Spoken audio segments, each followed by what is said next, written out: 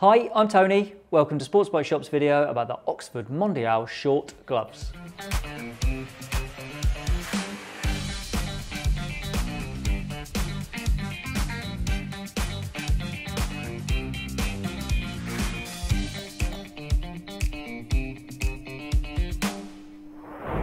These gloves are the wrist length version of Oxford's waterproof mid-season gloves and they cost £89.99 a pair. Some short gloves are really quite lightweight, but these are substantial and robust with an all leather construction. I'd say these are mid-season gloves that are at their best either side of summer. They're possibly a little bit too insulated when the temperature goes into the late teens, and really they lack enough warmth when it gets really deeply cold. But they're pretty much ideal from about 10 degrees up to about 18, I would say, and realistically that's where the mercury is when most of us are happy to be out riding our bikes. The leather outer for these gloves is bolstered by plastic knuckle armour and there's a panel of extra tough SuperFabric at the heel of the palm here. There's a panel of grippy leather where your hands wrap around the handlebars and this accordion stretch panel on the back of the hand makes life more flexible and comfortable when you're making a fist to grab hold of the bars. There's a rubber visor wiper on the left forefinger as there should be on all waterproof gloves in my opinion and I found this one effective at clearing water from my visor in my time with these gloves. It looks as though the finger and thumb have been prepared to be touchscreen friendly, but if that is the case, or it's meant to be the case, then it hasn't worked out because neither of these panels worked on my phone. So if you need to use your phone while wearing gloves, as you would if using your phone as a sat nav, for example, then I would suggest looking elsewhere.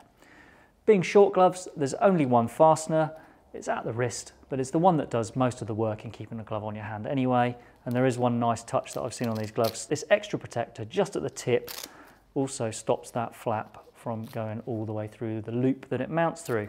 There are some things to bear in mind when you're buying a pair of short gloves.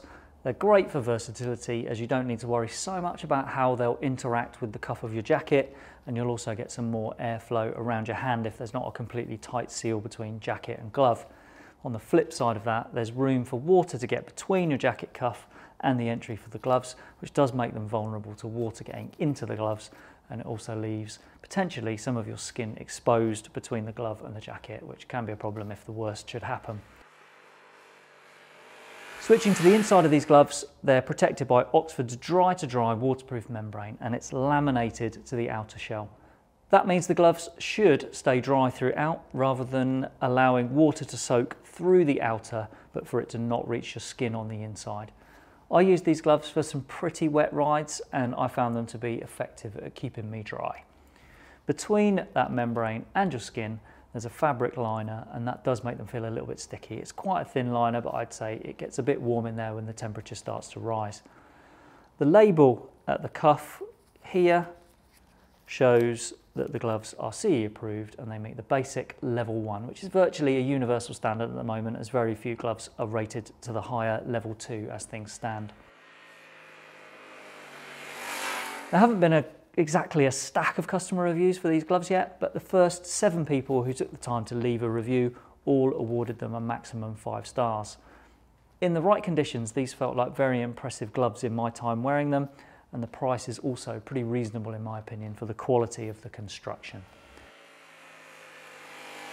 I hope that tells you everything you wanted to know about the Oxford Mondial short gloves. But if there is anything you'd like to ask or to add, then please pop a comment below. Thanks for watching.